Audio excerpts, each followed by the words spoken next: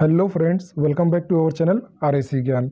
दोस्तों, मैं आप सभी को बताना चाहता हूँ कि एन के ऑफिशियल वेबसाइट पर एक नोटिस जारी की गई है, जो आईटीआई के रिज़ल्ट को लेकर है।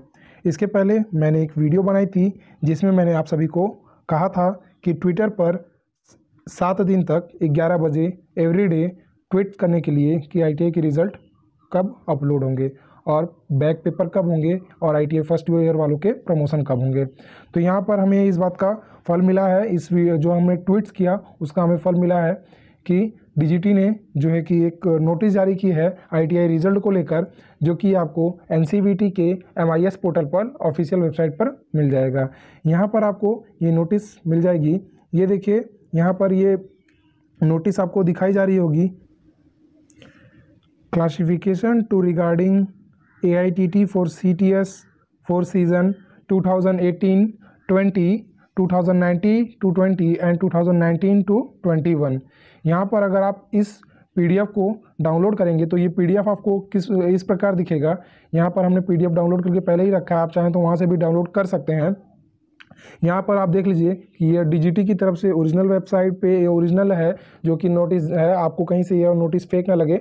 यहाँ पर आप देख सकते हैं कि डीजीटी की तरफ़ से लिखा गया है directorate general of training directorate general of training यहाँ पर ये जो है नोटिस जो है अट्ठारह मे को नोटिस जारी किया गया था। यहाँ पर सारे बातों को हम देखते हुए यहाँ पर हम मेन पॉइंट पर चलेंगे।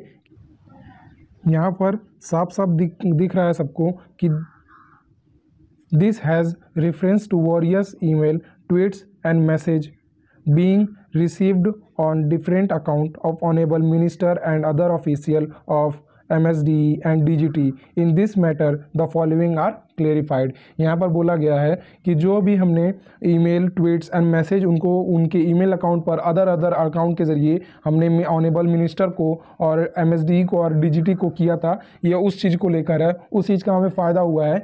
यहाँ पर जो है कि आईटीआई के रिज़ल्ट को जारी किया जाएगा। आईटीआई के रिज़ल्ट को कब तक जारी किया जाएगा? यहाँ पर भी हमको देखने को मिल रहा है कि आई के रिज़ल्ट को declared within fortnight यानी दो हफ्तों में दो हफ्तों के अंदर जो है कि आईटीआई के रिज़ल्ट को जारी कर दिया जाएगा, ऐसा डीजीटी ने बोला है खुद।